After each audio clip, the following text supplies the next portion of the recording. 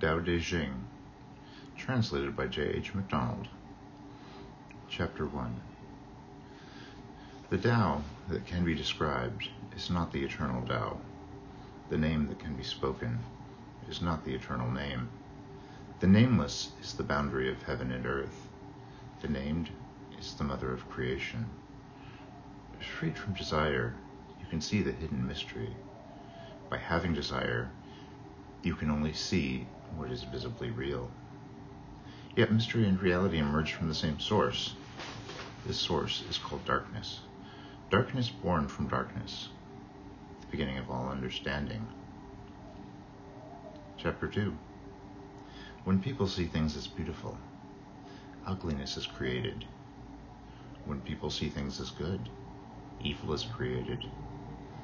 Being and non being produce each other. Difficult and easy complement each other. Long and short define each other. High and low oppose each other.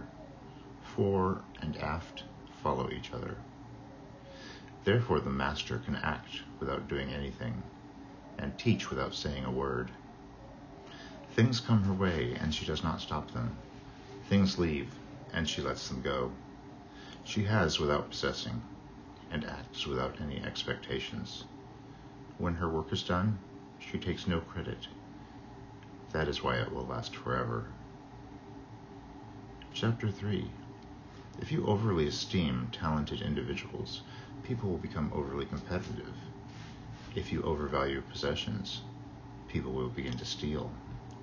Do not display your treasures, or people will become envious.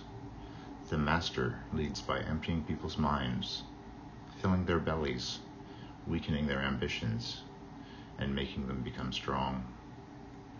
Preferring simplicity and freedom from desires, avoiding the pitfalls of knowledge and wrong action. For those who practice not doing, everything will fall into place. Chapter 4 The Tao is like an empty container. It can never be emptied and can never be filled.